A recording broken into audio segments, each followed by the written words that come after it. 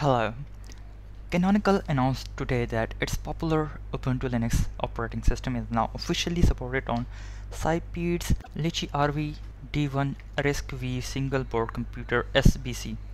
Cindy Goldberg, Vice President of Silicon Alliance at Canonical said, collaborating with Sipeed to bring TinyML to RISC-V developers with the new LicheeRV board represent a leap forward in creating open hardware and software communities. We are proud to have Ubuntu enabling the growing RISC-V community. As of today, you can install Canonical's latest Ubuntu release, Ubuntu 22.10 Kinetic Kudu, on the LicheeRV dock D1 board by downloading an early RISC-V developer access Ubuntu server image from the official website. Thank you.